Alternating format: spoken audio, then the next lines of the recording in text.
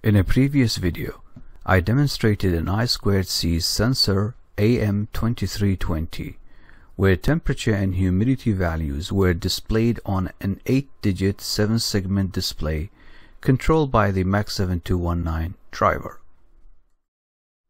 In this video, temperature and humidity measurements from AM2320 sensor are wirelessly transmitted using NRF24L01 transceiver. At the receiver, temperature and humidity values are continuously displayed on 7-segment screen. This is a circuit diagram of the transmitter. We have the AM2320 sensor connected to the Arduino using I2C interface. And we have the NRF24L01 transmitter connected to its adapter and the adapter is connected to the Arduino using SPI connection. The sensor will transmit every 2 seconds uh, temperature and humidity measurements wirelessly uh, using a radio frequency channel running at uh, 2.4 gigahertz.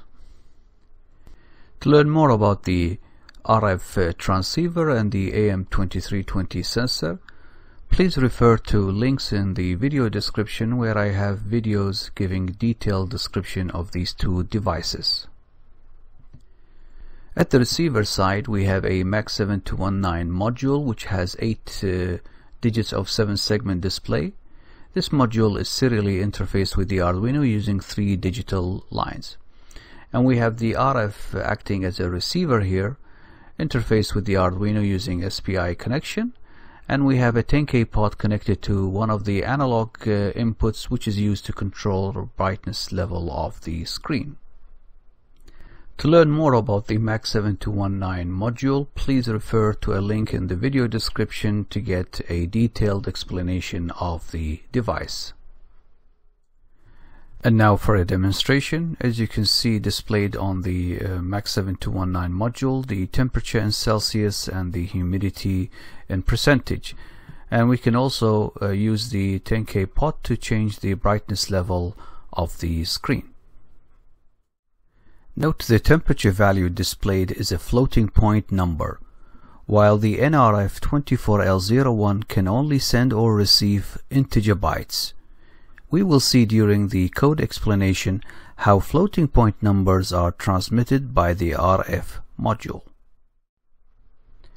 A quick look at the transmitter sketch. We need to declare this uh, object so that we can uh, communicate with the RF24 uh, module and we also declare this object so that we can access the AM2320 sensor. We also declare this uh, three element uh, array so that we can store the floating point uh, temperature value and the integer value of the humidity. As mentioned earlier, the radio frequency module can only transmit and receive integer bytes of data. In order to transmit uh, floating point numbers, we need to split the floating point number into integer part and a fraction part. So for example, if you wanted to uh, transmit the temperature as a floating point number, this is what we do. We get the uh, temperature from the sensor and store it in the first element of the array. So this is the integer part. And using this expression, we can extract the fractional part of the uh, temperature value and store it in the second element of the array. And here we get the humidity as integer value and store it in the uh, third element of the array. Now we can use the radio object to transmit the temperature as floating point number and the humidity as integer number and transmit it over the 2.4 gigahertz wireless uh, channel.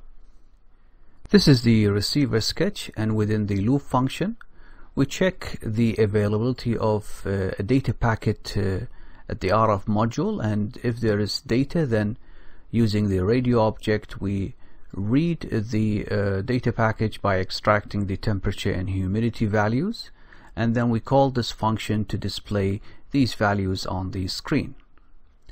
Inside function display max7219 we extract the most significant digit of the uh, temperature value and then we extract the least significant digit of the temperature value. We do the same for the humidity, the most significant digit and the least significant digit.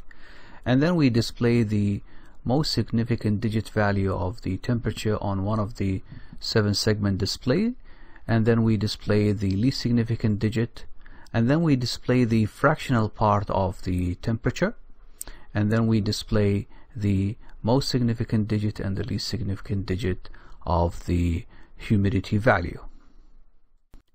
The RF module can handle a data packet of maximum size of 32 bytes.